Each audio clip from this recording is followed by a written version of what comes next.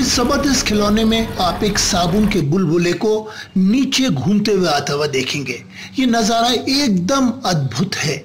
इस bubble spinner को बनाने के लिए आपको एक 250 मिलीलीटर की प्लास्टिक की बोतल कैंची, एक रिंग मैग्नेट और एक साइकिल की स्पोक चाहिए। आपको यहाँ पर तीन छल्ले जैसे दिखाई देंगे। सबसे पहले आप बोतल में एक छोटा सा छेद करें और इन तीन छल्लों को अलग अलग काट दें। क्योंकि प्लास्टिक बहुत ही पतली है, इसको काटना काफ़ी आसान होगा।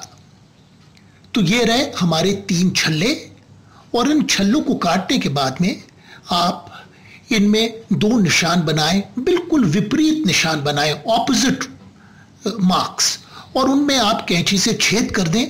ये छेद थोड़े से बड़े होने चाहिए, जिससे कि साइकिल का स्पोक इनके अंदर ढीला या लूज हो। अब इनको असेंबल करेंगे। सबसे पहले आप स्पोक की नोक को छल्ले के एक छेद में डालें, फिर रिंग मैग्नेट और फिर सिरे को दूसरे छल्ले के छेद में डालते हैं। अब ये असेंबली पूरी हो गई। अब आप इसको सीधा रखें और चुंबक और छल्ले को छोड़ दें। अब ये पारदर्शी छल्ला जब घूमता हुआ नीचे आएगा तो बिल्कुल ऐसा नज़र आएगा जैसे कोई साबुन का बुलबुला आसमान से घूमता हुआ नीचे उतर रहा हो।